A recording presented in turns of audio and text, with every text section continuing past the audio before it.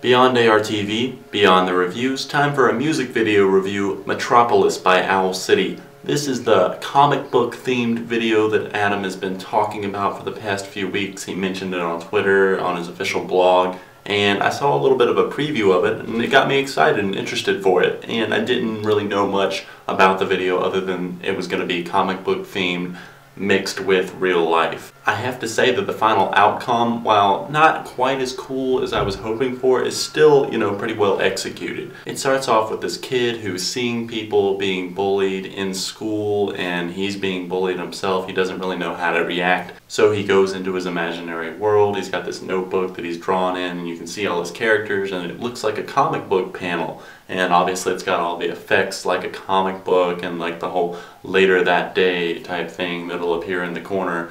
And you know, I wanted to go ahead and mention this. I'm not going to be using like much video from these videos for the music video reviews because I don't want to get in copyright trouble. I have run into that in the past, so I want to mainly use screenshots or maybe a few seconds here and there.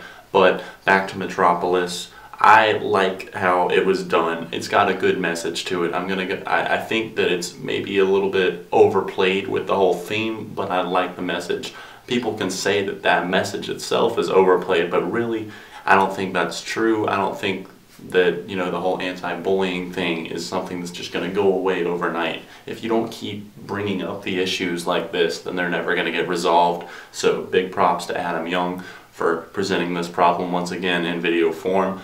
Only thing I would have liked to have seen Adam himself, Owl City, appear in the video. He was nowhere to be found.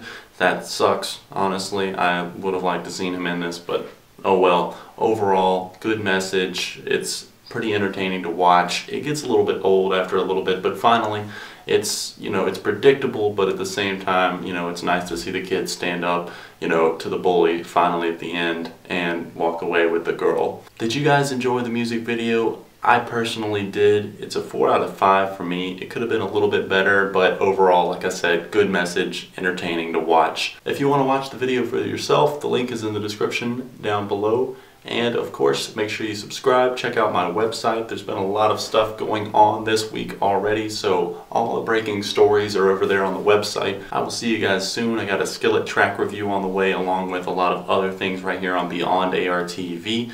See you guys very soon. Thanks for watching. Ha ha ha!